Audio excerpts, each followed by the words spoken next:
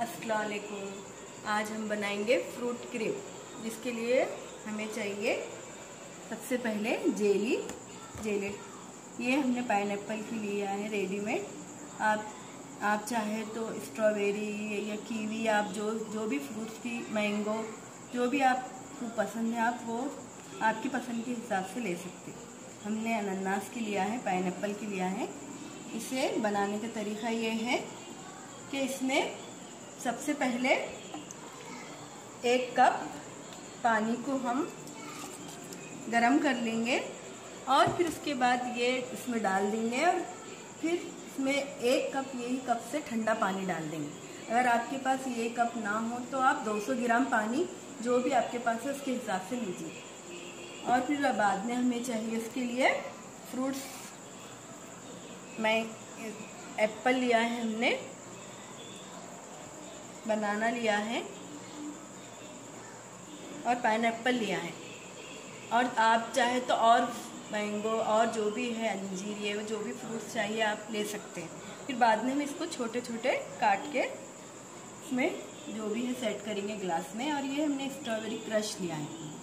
और ये आधा टीस्पून हमें नींबू लगेगा और हमें वैनिला आइसक्रीम लिया है। हमें वैनिला आइसक्रीम ही चाहिए। आप चाहे तो क्रीम भी ले सकते हैं, लेकिन फिर उसमें आपको शुगर मिलाना पड़ेगा। वो जो एक कप पानी हमने लिया था, उसे अच्छी तरह बॉईल कर दिया है। फिर उसे हम बंद करके ये जो जेली थी ऑफ़ कर दी हमने, फिर उसको से जल्दी जल्दी से मिला लेंगे। तरह से। फिर उसके बाद मिक्स हुए बाद इसको इसमें हम फिर एक कप, वही कप से ठंडा पानी डाल देंगे। ये जेलेटन ये जेली का हमारा अच्छी तरह से मिक्स हो गया है। हमने एकदम ठंडा बर्फ़ का पानी लिया है। अब बस ये इसमें डालकर इसे रूम टेम्परेचर पे ठंडा होने के लिए रखेंगे। फिर जो ग्लास में हम सर्व करने वाले हैं, उसमें सेट करने के लिए डालेंगे।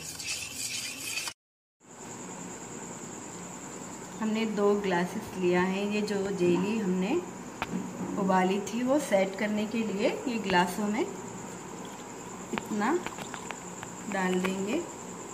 हमने पाँच छः ग्लास के हिसाब से बनाए हैं। आप जो भी आपको जितना भी बनाना है इसके हिसाब से आप क्वांटिटी ले सकते हैं। इसे हम सेट करने के लिए तीस, बीस, पच्चीस मिनट फ्रिज में रख देंगे।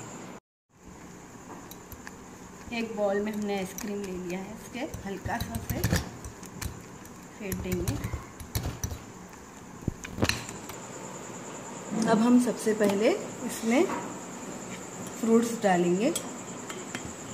स्टेप बाय स्टेप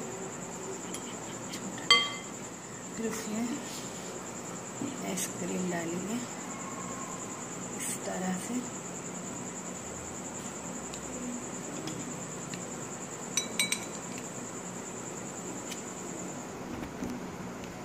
इस तरह से आइसक्रीम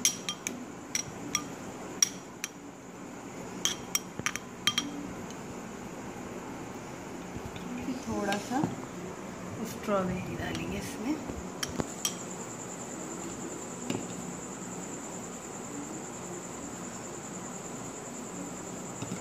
फिर और थोड़े से फ्रूट्स डालेंगे।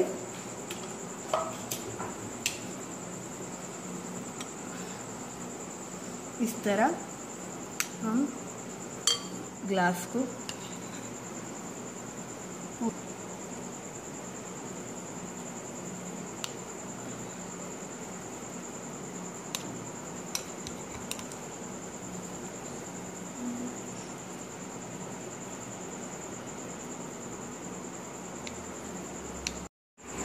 ये हमारा फ़ूड क्रीम तैयार है।